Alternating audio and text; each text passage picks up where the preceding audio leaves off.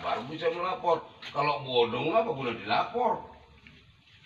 Akibat aksi nekatnya mencuri sebuah sepeda motor milik korbannya yang sedang asik tertidur, tiga orang pelaku curanmor tersebut harus merasakan dinginnya dinding sel tahanan Polsek Medan Kota. Selain dikurung, satu di antara tiga tersangka yang merupakan napi asimilasi terpaksa diberikan tindakan tegas terukur dan terarah oleh petugas karena mencoba kabur saat dilakukan pengembangan kasus.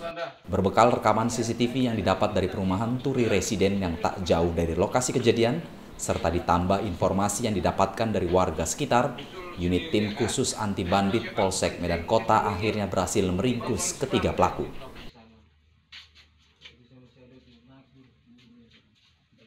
Kanit Reskrim Polsek Medan Kota Ibnu M. Ainul Yakin mengatakan, tersangka utama dalam kasus curanmor ini adalah RBS yang merupakan napi asimilasi yang baru saja dibebaskan. Sedangkan untuk tersangka MAP merupakan penadah barang curian dan tersangka RE merupakan perantara.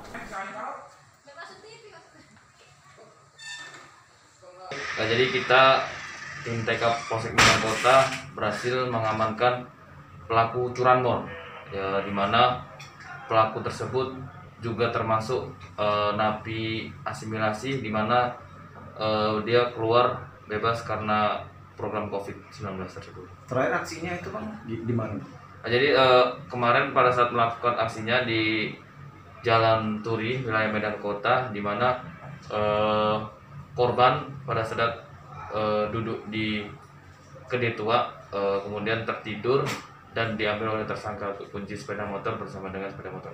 Artinya tidak merusak kunci pengaman sepeda motor? Oh, tidak, uh, karena diambilnya dari yang tidur tersebut, kemudian dilarikan dan tertangkap kamera CCTV. Jadi korban saat itu lagi mabuk, Uh, korban sedang keadaan di bawah naungan uh, tua.